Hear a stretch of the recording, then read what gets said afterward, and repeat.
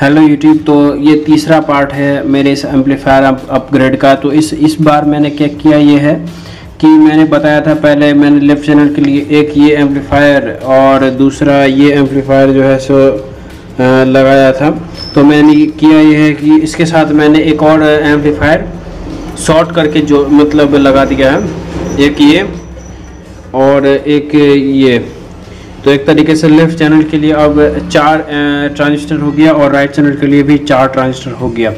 अब बात ये आ जाता था कि मतलब जब मैं वॉल्यूम तेज करता था तो अब ट्रांजिस्टर तो नहीं हीट होता था या कम हीट होता था, लेकिन इसका जो कोयल दिख रहे हैं, ये बहुत ज़्यादा हीट हो जाता था।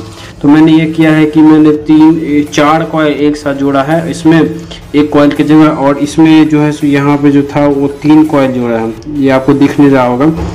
तो मैंने इस, इसके बाद क्या हुआ कि कॉयल का हीटिंग भी कम हो गया और उसके बाद लेफ़्ट चैनल जो है से बहुत ज़्यादा पावरफुल हो गया और बहुत ज़्यादा अब जो है मतलब वॉल्यूम देने के बाद भी साउंड नहीं फटता है और अच्छा साउंड देता है।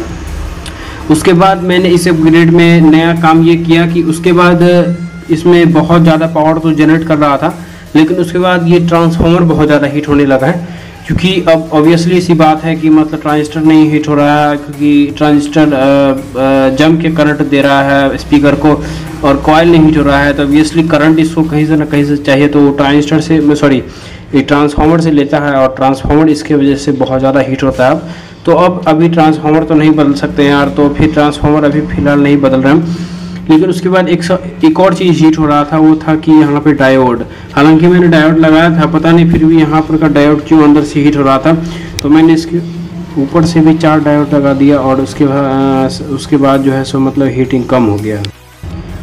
डायोड के साथ मैंने एक जो नया चीज़ बदला है, वो है वायर मैंने मोटा वायर यूज़ किया है। अब मैंने जो है सो हर जगह, हर एक चीज़ के कनेक्शन में स्पीकर का कनेक्शन हो या फिर या फिर स्पीकर का स्पीकर कनेक्शन के साथ या फिर ट्रांजिस्टर का कनेक्शन हो हर एक कनेक्शन में मैंने मोटा वायर अब यूज़ किया है। पतला वायर बहुत ज़्यादा पतला था पहले तो ये मैंने मोटा वायर यूज़ किया है ताकि ये मतलब वायर पे ज़्यादा लोड ना पड़े या फिर मतलब वो उसमें करंट ना वेस्ट हो वायर में।